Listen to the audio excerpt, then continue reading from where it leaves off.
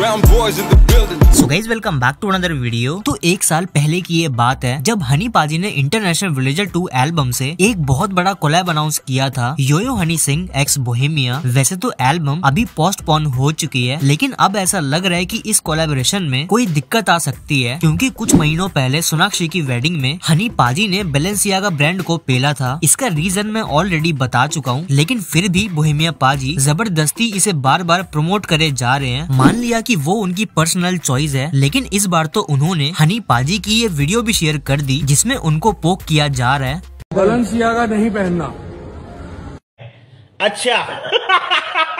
Approach ਕਰਦਾ ਜਦੋਂ ਹਾਨ ਦੇ ਮੁੰਡੇ ਉਹਦੇ ਨਾਈਕੀ ਪਾ ਕੇ ਤੁਰ ਉਹ ਬਲੈਂਸੀਆਗਾ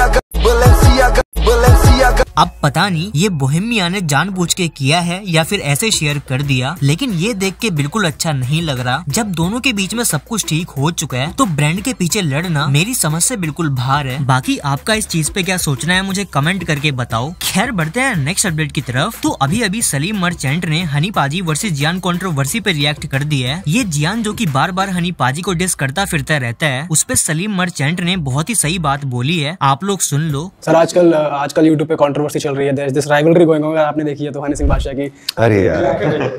आपकी हुई है? आपकी हुई है सर किसी से ऐसी राइवलरी यार ये सब एक्चुअली मुझे लगता है इट्स वेरी टेम्परेरी यार। हम लोग सब ना एक क्या कहते हैं ना स्विमिंग पूल में स्विम कर रहे हैं। समंदर में अभी डुबकी लगाना बाकी है हमें यार। स्विमिंग पूल में एक दूसरे से हम लोग छेड़खानी कर रहे हैं बॉल फेंक रहे हैं एक दूसरे को। आई थिंक लो आर्टिस्टों को ज़्यादा यू नो दूर की सोचना चाहिए। आप अगर आप आर्टिस्ट वेस्ट के आर्टिस्ट देखिए तो अभी वहाँ के जो हिप हॉप आर्टिस्ट वो भी एक दूसरे को डिस करना बंद कर दिए।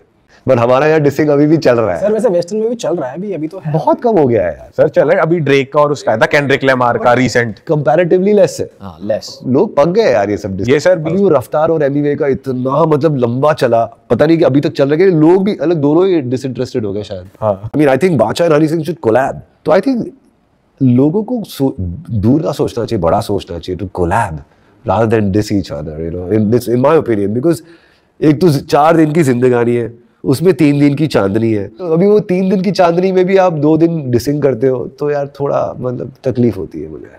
I am not that kind guy you know I mean I don't find entertainment in that मुझे दुख होता है।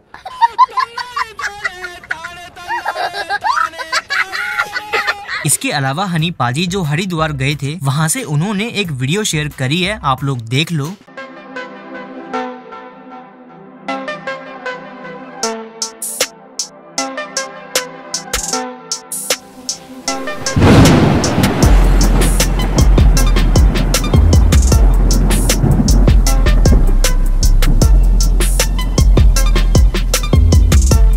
अभी के लिए बस इतना ही। यहाँ तक आए हो तो लाइक का बटन दबा के जाना। मिलता हूँ मैं आपको नेक्स्ट वीडियो में। Till then bye